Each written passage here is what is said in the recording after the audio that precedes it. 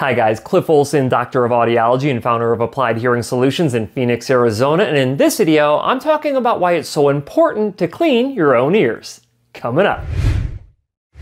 When is the last time that you took a shower? I'm hoping within the past few days. Or how about the last time that you brushed your teeth? I'm hoping that you at least brushed your teeth once already today. Well, what about the last time that you cleaned your ears? Now, I'm not talking about using a bobby pin or a cotton swab to dig around inside of your ear canals. I'm talking about actually cleaning your ears with a cleaning solution that is intended to break down earwax and then using warm water to flush it out. I'm guessing that most of you watching this video have never actually had your ears cleaned unless you've been into an audiologist who's done it for you. So why is it that we perform hygiene regularly when it comes to our skin, our hair, and our teeth, but we never think about cleaning out our ear canals that produce earwax. I'm guessing it's because you can't see inside of your own ear canals, and if you can't see it, you don't know if you have it unless it stinks. Yeah, that's right. Sometimes your earwax has a bad smell to it. However, just because you can't see it doesn't mean that you shouldn't include ear cleaning in your regular hygiene schedule. Whether you think you need it or not, cleaning out your ears on a regular basis is probably a good idea for several reasons, which I will cover as soon as you click that like button, which really helps out my channel, and hit that subscribe button with notification bell so you get a notification every single time I publish a new video.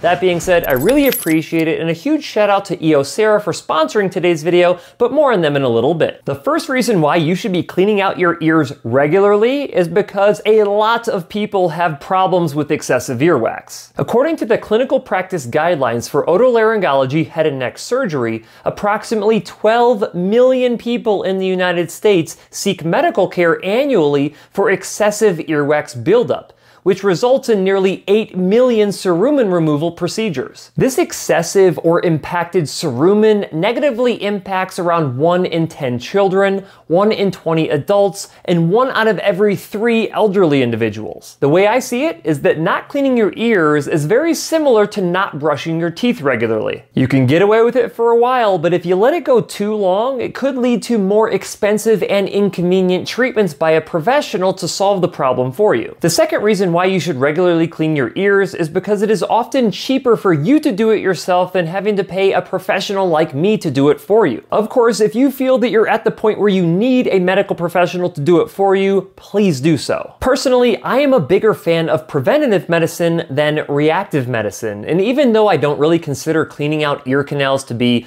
medicine, regular self-cleaning can help prevent you from needing to see a professional to perform earwax removal for you. And it will most likely save save you money by preventing stubborn earwax impactions that could cost hundreds of dollars to have professionally removed. The third reason why you should be cleaning out your own ears regularly is that excessive earwax buildup over time could lead to temporary hearing loss and tinnitus. If you happen to develop a plug of earwax inside of one of your ears, it is roughly equivalent to wearing an earplug in your ear that will reduce your hearing by 30 decibels temporarily, of course, until you have that earwax removed. Not only does this make communication difficult, but it also leads to tinnitus, which is a phantom ringing or buzzing sound inside of your ear, which can be extremely annoying. Just so you know, tinnitus is frequently caused by a reduction of auditory information being able to make it from your ears up to your brain, and then your brain creates this phantom sound to replace it. And what's a great way to temporarily reduce the amount of auditory information that can make it from your ears up to your brain? Just let a bunch of earwax build up inside of your ears. So hopefully at this point I've convinced you that it's a good idea to clean out your own ears. But how should you be cleaning out your ears? Well, you have a few options. You could use hydrogen peroxide, but many doctors are starting to steer away from hydrogen peroxide use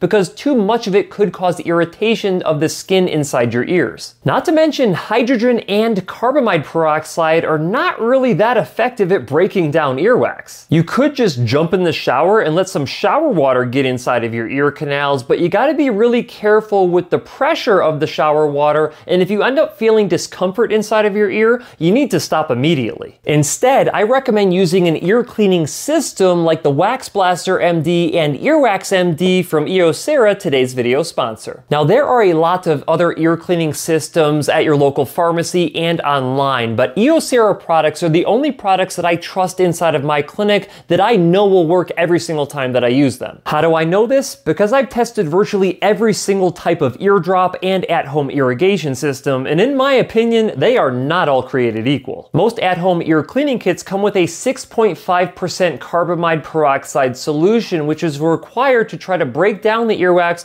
before you flush it out of your ears. And remember what I said before about carbamide peroxide not being that effective at breaking down earwax? Check it out for yourself. This is a side-by-side -side comparison of a leading 6.5% carbamide peroxide solution on the left and Eosera's Earwax MD solution on the right. As you can see, the earwax inside of the Earwax MD solution starts to break down within a matter of minutes, while the earwax inside of the carbamide peroxide solution does not appear to break down at all. Not only is Earwax MD by far the most effective solution that I've ever tested and the only eardrop solution that I use inside of my clinic on my patients, but Eosera now includes a free bottle of Earwax MD when you purchase the Wax Blaster MD. All you need to do is take out the Earwax MD drops, put them inside of your ears, and then flush out your ears with the Wax Blaster MD using warm water. Do this one time per week or as needed to prevent earwax buildup inside of your ears and to keep your ears squeaky clean. Like my dad said, good hygiene is always a good idea. Just like you should be bathing regularly and brushing your teeth regularly, you should be cleaning out your ears regularly. There is absolutely no reason why 8 million Americans should have to have professional earwax removal due to uncontrolled earwax buildup. All it should take is a few minutes per week using the right ear cleaning system to keep your ears